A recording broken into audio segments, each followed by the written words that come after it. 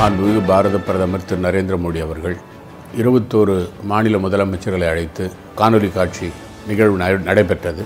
அனைத்து மாநிலங்களும் கூட்டு முயற்சியில் வேற்றுமையில் ஒற்றுமை என்ற முறையில் செயல்படுவதன் காரணமாகத்தான் நம் நாட்டில் கொரோனா தொற்று நோய் மிகப்பெரிய அளவில் பரவாமல் இருப்பதற்கு தடுத்து நிறுத்தப்படுகிறது என்பதை வலியுறுத்தி கூறினார். எல்லா மாநிலங்களுக்கும் தேவையான மருத்துவ உபகரணங்கள் தேவையான மருந்துகள் வாங்குவதற்கு மத்திய அரசு தாராளமாக நிதியுதவி செய்ய வேண்டும் என்று அனைத்து மாநில முதலமைச்சர்களும் மற்றும் துணைநிலை ஆளுநரும் கூறினார்கள். நிதி ஆதாரம் பற்றி தனித்தனியாக முதலமைச்சர்கள் கடிதம் எழுத வேண்டும் என்று கூறியிருக்கிறார்கள். ஆனால் தொடர்ந்து இதுவரை ஆறாவது முறையாக பிரதமரோடு நாங்கள் உரையாடுகிறோம். ஆனால் மத்திய அரசானது எங்களுடன் கருத்துக்களை கேட்டுக்கொள்கிறார்களே தவிர மாநில அரசுகள் வைக்கிற கோரிக்கைகளை முழுமையாக நிறைவேற்றவில்லை.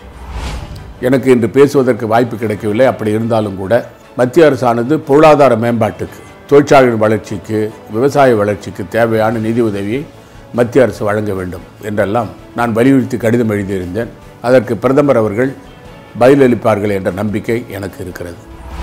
நாளைய தினத்திலிருந்து இ பாஸ் வைத்திருந்தாலும் கூட மாநில அரசினுடைய அனுமதி இல்லாமல் சென்னையிலிருந்து வருவர்களை யாரையும் உள்ளே விடக்கூடாது. யாராக இருந்தாலும் தடுத்து அதே போல் விழுப்புரம் கடலூர் பகுதியில் வருபவர்களும் அவர்கள் மருத்துவத்துக்கு தவிர புதுச்சேரிக்கு உள்ளே நுழைவதற்கு அவர்களுக்கு அனுமதி கிடையாது என்று முடிவு செய்யப்பட்டிருக்கிறது. நானும் மாண்புமிகு அமைச்சர் மல்லாடி கிருஷ்ணராவ் அவர்களும் இந்திரா காந்தி அரசு மருத்துவக் கல்லூரிக்கு சென்று அங்கு கொரோனா தொற்று நோய் சம்பந்தமாக கொடுக்கின்ற மருத்துவம் சம்பந்தமான அந்த பணியில் இருக்கிறவரோடு கலந்து ஆலோசிப்பதற்காக சென்றிருந்தோம். புதுச்சேரி மாநில மக்களை காப்பாற்றுவதற்கு அவர்கள் முழுமையாக பாடுபட வேண்டும். புதுச்சேரி மாநில மக்களையும் தங்களுடைய சகோதரர்களாக நினைத்து சகோதரிகளாக நினைத்து அவர்கள் மருத்துவம் அளிக்க வேண்டும். தேவைப்படுகின்ற மருத்துவர்களையும் செவிலியர்களையும் ஆஷா பணியாளர்களையும் நியமிப்பதற்கு மாநில அரசு சார்பாக நடவடிக்கை எடுக்கிறோம் என்று அவர்களை சொல்லும் பொழுது அவர்களுக்கு நம்பிக்கை ஊட்டியிருக்கிறது. புதுச்சேரி மாநிலத்திலும் சந்தைகளை மூட வேண்டும் என்று நாங்கள் உத்தரவிட்டிருக்கிறோம். யாராவது மீறி சந்தைகளை திறந்தால் அவர்கள் மீது கடுமையான நடவடிக்கை எங்களுடைய அரசு எடுக்கும். சண்டே மார்க்கெட் திறப்பதற்கு அனுமதியும் மாநில அரசு தரப்பில் நாங்கள் வழங்க மாட்டோம் என்பதை உறுதியாக கூறியிருக்கிறேன். மீறி யாராவது கடைகள் வைத்தால் அவர்கள் மீது கடுமையான நடவடிக்கை எடுக்கப்படும்.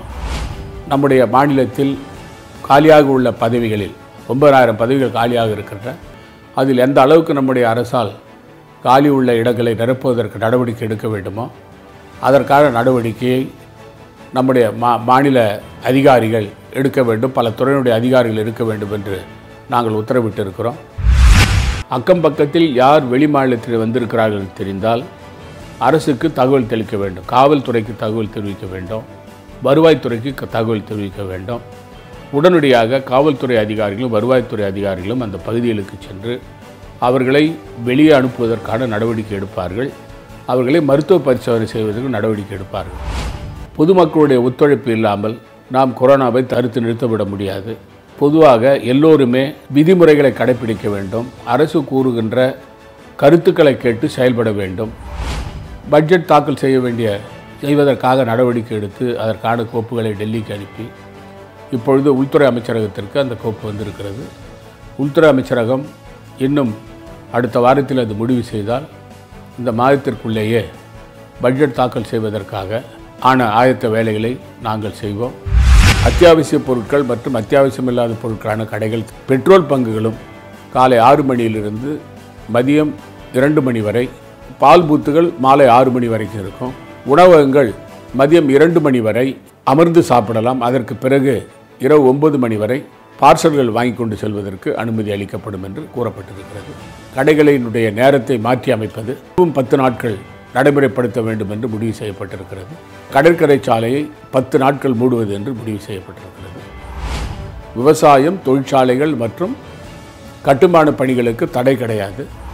குறிப்பாக மதுக்கடைகளை பொறுத்தவரை அவைகளும் இரண்டு மணிக்குள் மூட வேண்டும் அனைத்து தொழில் வியாபாரம் செய்கிறவர்கள் இரண்டு மணிக்கு கடையை மூடிவிட்டு மூன்று மணி வரை அவர்கள் வீடுகள் வீட்டுக்கு செல்வதற்கான அந்த ஒரு மணி நேர இடைவெளியும் கொடுக்கப்பட்டிருக்கிறது. முகக்கவசம் அணியாமல் யாராவது வெளியிலே வந்தால் ஏற்கனவே நூறு ரூபாய் அபராதம் போட்டப்படுது. அது இருநூறு ரூபாயாக மாற்றப்படும்.